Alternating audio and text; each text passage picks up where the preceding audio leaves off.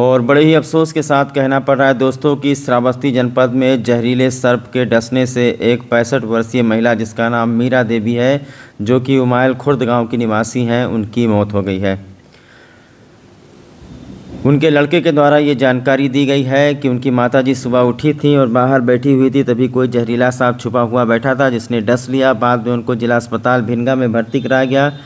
डॉक्टरों ने प्राथमिक दवा उपचार किया, लेकिन जहर जो है धीरे धीरे बढ़ता गया और उनको जिला अस्पताल बहराइच रिफ़र किया गया।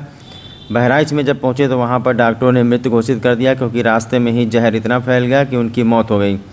ग्रेट श्रावस्ती चैनल अपने चैनल पर लगातार ये खबरें दिखा रहा है कि बाढ़ बरसात के बाद में सबसे बड़ी समस्या यही आती है जहरीले जीव जंतुओं का, क्योंकि जब चारों तरफ़ पानी भरा होता है तो सांपों के बिल में भी पानी भर जाता है, जिससे सांप बहुत ही ज़्यादा क्रोधित हो जाते हैं, परेशान हो जाते हैं। और वो सूखे जगह की तलाश करते हैं। सूखा जगह सिर्फ़ आपका घर है। आपके घर में आँगन में या आपके खिड़की दरवाजे पर छप्पर में कहीं पर आकर छिप जाते हैं। और जैसा मैंने आपको बताया कि जब पानी भर जाता है, इस दौरान ये बहुत ही गुस्से में होते हैं और डस लेते हैं। श्रावस्ती जनपद में जहरीले सांप के काटने से हर साल तकरीबन दो दर्जन मौतें होती हैं अलग अलग थाना क्षेत्रों में।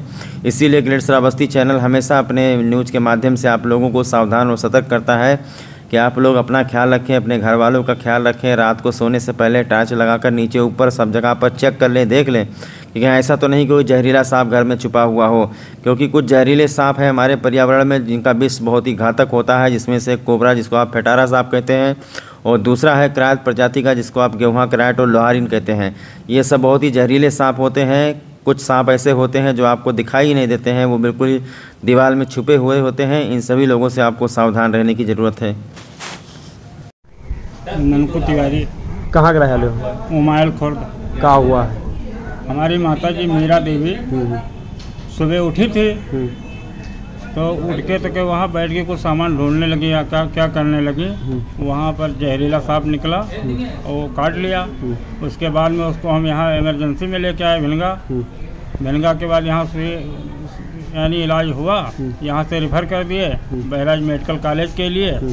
वहाँ पहुँचते हैं रास्ते में उनका। वहाँ जब गए सारे डॉक्टरों ने चेक किया तो वहाँ मृत्यु घोषित किया। मृत्यु घोषित कर दिया। जी।